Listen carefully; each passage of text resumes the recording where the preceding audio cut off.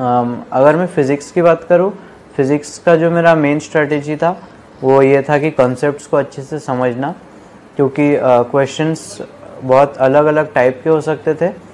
मैंने कोशिश हमेशा ये किया कि सारे टाइप के क्वेश्चंस मेरे कवर हो जाए, लेकिन ये भी था कि अगर कोई नया टाइप का क्वेश्चन आ जाए तो भी मैं उसे फेस कर सकूँ।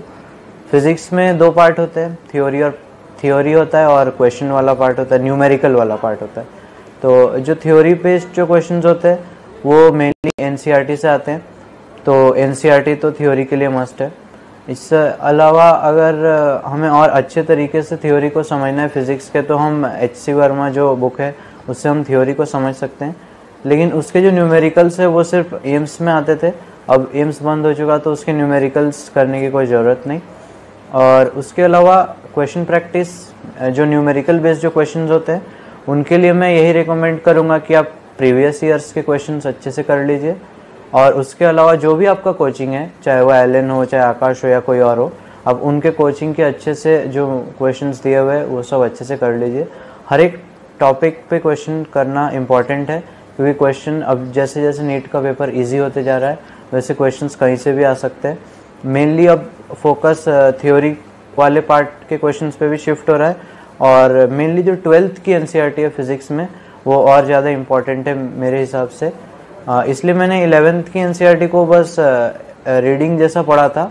और जबकि ट्वेल्थ की एन जो बोर्ड में भी हमारे काम आती है तो इसलिए मैंने उसको अच्छे से याद भी किया था। और जो जो इम्पोर्टेंट पॉइंट्स है, उनको मैंने समझा भी। और एन के कुछ लाइन्स थे जहाँ से डायरेक्ट क्वेश्चन बन सकते थे, वो सबको मैंने अच्छे से पढ़ा था। उसके बाद जो न्यूमेरिकल बेस्ड क्वेश्चन होते हैं, उनके लिए बहुत प्रैक्टिस ज़रूरी है। फिज़िक्स जो हमेशा से ही मेरा स्ट्रॉन्ग सब्जेक्ट था, इसलिए मैंने उस पर ज़्यादा ध्यान नहीं देता था और सबसे कम टाइम में फ़िज़िक्स ही पढ़ता था।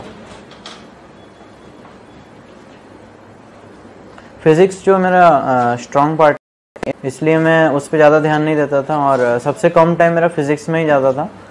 और इसके अलावा एलएन में एसआरजी जो ग्रुप है, वहाँ पे एक्स्ट्रा फिज़िक्स के मटेरियल्स मिलते थे, जो कि बहुत हाई लेवल के थे, जिससे मैं हम जेई मेंस या जेई एडवांस के क्वेश्चंस भी सॉल्व कर सके। उनको भी मैं कर लेता